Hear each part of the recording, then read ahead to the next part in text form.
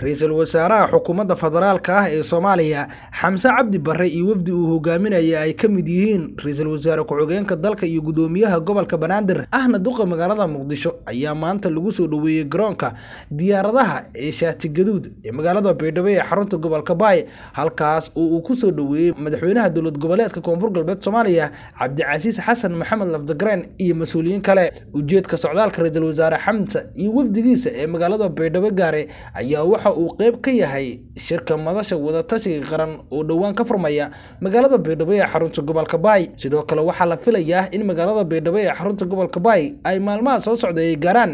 madaxweynaha jamhuuriyadda federaalk ee soomaaliya xasan sheekh maxamuud iyo sidoo kale qaar ka mid a madaxda maamul goboleedyada dalka si halkaas ay kaga wada qaybgalaan shirka madasha wadatashiga qaranka ee gogashiisa ay taalo magaalada baydhabo ee xarunta gobolka baay maadaama halkaas ay dhowaan ka dhici doonto doorashada madaxtinimada maamulkaasi